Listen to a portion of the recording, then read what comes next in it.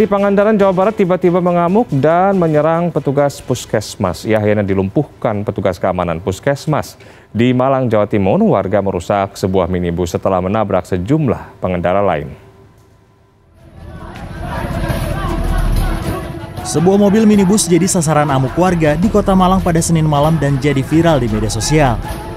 Selain merusak kendaraan, warga juga menganiaya penumpang mobil. Selasa siang, Kasat Lantas Polresta Malang Kota Kompol Yopi Anggi Krisna menyebut, insiden ini bermula saat petugas Sabara yang sedang berpatroli. Curiga sebuah mobil digunakan untuk tindakan mesum saat parkir di kawasan Ijen. Saat didekati petugas, pengemudi justru kabur.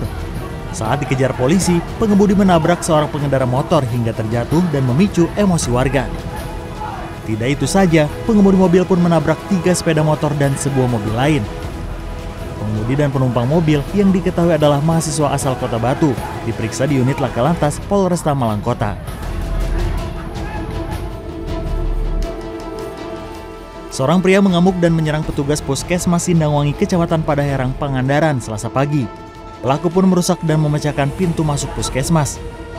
Ia akhirnya dilumpuhkan sejumlah petugas keamanan puskesmas hingga pingsan Menurut petugas keamanan puskesmas, pelaku tiba-tiba mengamuk saat puskesmas sedang dalam kondisi sepi. Seorang petugas keamanan puskesmas terluka di hidung dan tangan akibat bergumul dengan pelaku. Setelah diberi peralatan, pelaku dibawa ke Mapolsek pada Herang. Tim Liputan CNN Indonesia. Bupati Bogor Ade Yasin terjaring operasi tangkap tangan tim penindakan Komisi Pemberantasan Korupsi terkait dugaan kasus suap. Dalam OTT tersebut, KPK juga menangkap sejumlah pihak dari Badan Pemeriksa Keuangan Perwakilan Jawa Barat.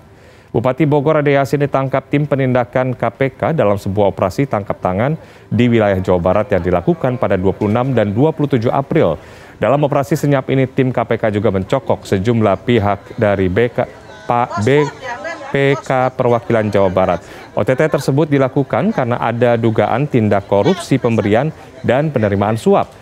Ade Yasin dan pihak yang terjaring OTT telah dibawa ke Gedung Merah Putih KPK untuk pemeriksaan lebih lanjut. Lembaga anti rasuah kini memiliki waktu 1 kali 24 jam untuk menentukan status hukum dari pihak yang ditangkap tersebut. Tim KPK tadi malam hingga tadi pagi telah mengamankan beberapa pihak di wilayah Jawa Barat terkait uh, dugaan tindak pidana korupsi, pemberian dan penerimaan suap. Di antaranya adalah Bupati Kabupaten Bogor dan beberapa pihak dari uh, BPK Perwakilan